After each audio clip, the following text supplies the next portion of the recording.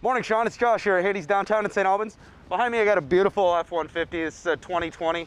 Uh, it's got about 1,300 miles on it. I just checked the odometer. I know online it says uh, 1688, but the odometer on this thing says 1288. Um, you have a lot of aftermarket parts on here. You got a nice little brush guard here. Uh, it's got a nice little mount system here for a winch if you ever wanted to throw that on there. Uh, if you come around, you can see that uh, it's got some nice aftermarket tires on it.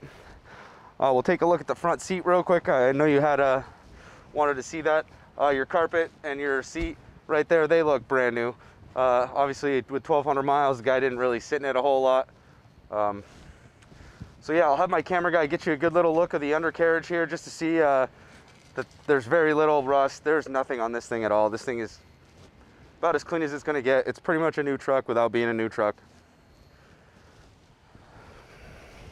And then if you come around the back, you can see that even the back, there's no, doesn't even look like he touched the tailgate. It's a very beautiful looking truck.